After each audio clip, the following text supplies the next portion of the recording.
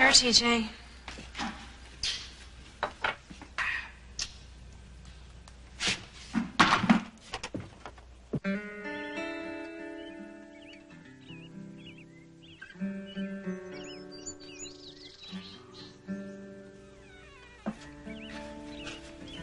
Hey, Hey, what you doing? thinking. Feel like talking? About what? I don't know. About Reno. Reno? Yes, Travis, Reno. How come you're so interested in keeping him out of trouble with the law? Who says I am? Travis, you can talk to me. Well, I was just in the wrong place at the wrong time with the wrong people. I ended up doing some time down in Louisiana.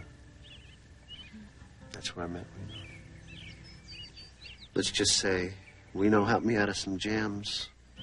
I figured the least I could do is return the favor. How did you end up here?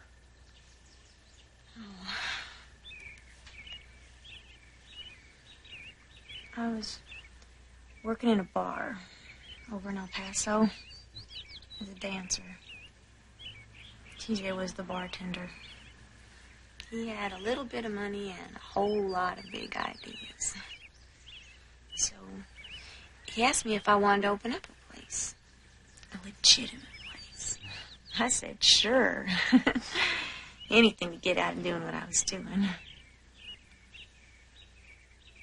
Then TJ asked me to marry him. Anything to get out of doing what you were doing. I convinced myself that I really did love him. But then I realized that you only gotta convince yourself of something when it ain't true. That's when I started spending most of my time up on Lone Ridge.